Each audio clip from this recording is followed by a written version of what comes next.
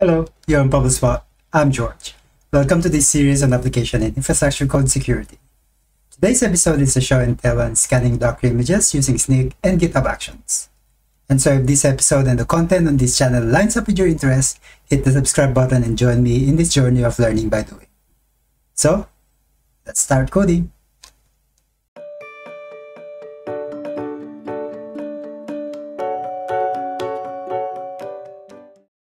On the previous episode, which you can access right here, I did a show and tell on how to scan Docker images using Snyk on my local machine.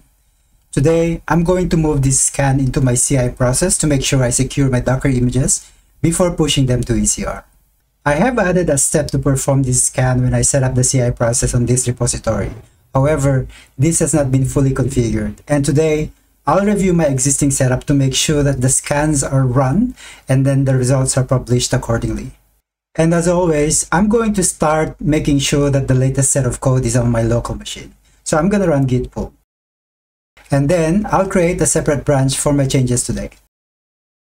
Like what I did in the previous episode, in order to appreciate cases when my Docker images have security threats that need to be fixed, I'm going to update my base image to an old version to force my scans to fail.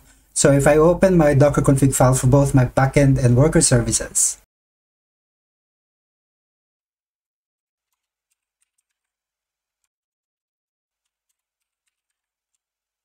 To start making changes to my CI pipeline, I'm going to open my application YAML file.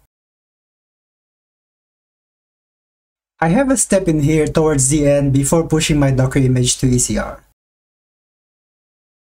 I will put a link in the description below on where to find all the Snyk related GitHub actions for your reference. And as shown on this step, I'm using a Snyk GitHub action for scanning Docker images. I have added a reference to my Snyk token via an environment variable right here. The with block is configured with a reference to the image to be scanned, and I've added a few arguments used in the actual execution like the actual Docker configuration file and the severity threshold. I need to make some modifications on this step. Firstly, I need to change the severity threshold to low. And then I'll add a new argument to generate a Sarif output file for the scan. Because I'm generating custom Sarif file using the argument, I need to make sure that the Sarif property of the GitHub action is disabled. I also need to allow the rest of my CI process to continue regardless of the state of this step. So I add continue on error property and set this to true. And then for me to be able to reference the outcome of this step at a later stage, I need to add an ID property. Now, I need to publish the Sarif scan results from this step. However, bear in mind that I'm only allowed one upload of Sarif file per job. So I already have a Sarif upload step for my Python code scanning. So let's go and have a look at that. What I need to do is move this particular step towards the end before publishing the Docker image to ECR. I have this commented block for publishing scan results, which I no longer need, so I can get rid of that. So back to my upload Sarif step. I also need to ensure that this step always runs regardless of the state of previous steps. So I need to add a conditional if property and set the value to always. And that's my scan and publish steps, but I'm still missing another step here. If there are any scan results for my Docker image, I want my CI process to flag the error and discontinue the process. So I'm going to add a new step before publishing my Docker image. This is where I evaluate the outcome of the Docker image scan step. And so if the outcome is a failure, I will exit the process with a return code 1. Next thing I will do is check in all my changes and push them to my remote origin. And now I'm gonna head to my GitHub and raise a pull request for my changes.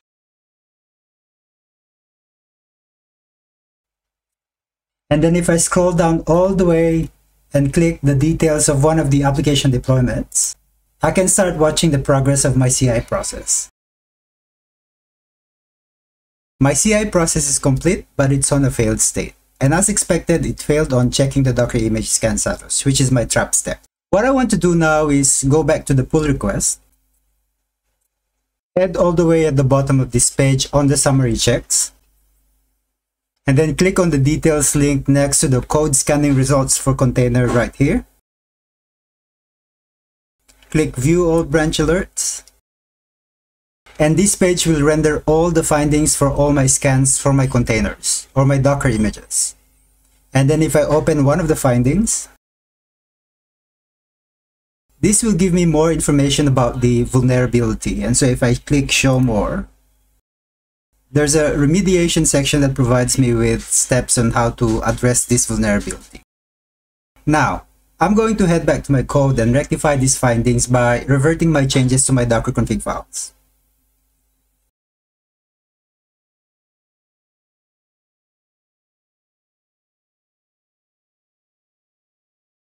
Then I'm going to commit my changes and push it to my origin. And then I'm gonna switch back to my GitHub. And then click the details next to one of the application deployments. And then monitor the progress of my CI process. So my application CI process has completed successfully. Now if I go back to my pull request, and head all the way down to this page on the summary checks. And then click on code scanning results container details. Go to view all branch alerts. And the status of all the scan findings have been set to close. And that's it for today's episode. Next time, I will look into setting up security scan on my infrastructure code.